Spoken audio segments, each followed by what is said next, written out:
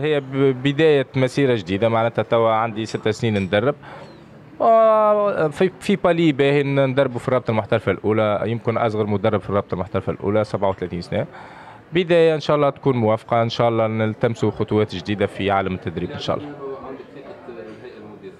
جميع خرجوا قالوا راحوا فين ولا باش يخرجوا ولا ثم اقاله كما سير فوضى في بعض الأندية في البلاد الناس الكل تعرف معناتها ال- ال- ال- الاستمرارية صارت من الموسم الماضي معناتها. عفوا الغربي كان له شرف صعود آه، مدنين على كما نقولوا على يديه للرابطه المحترفة الأولى بعد 15 سنة.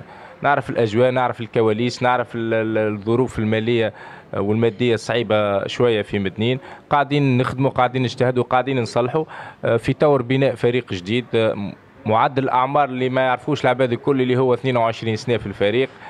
فريق شاب طموح.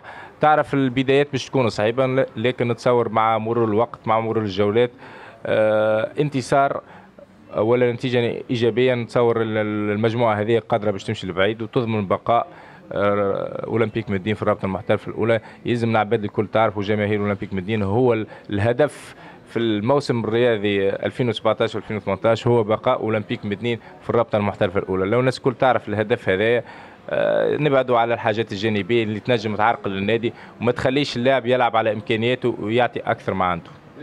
شكرا.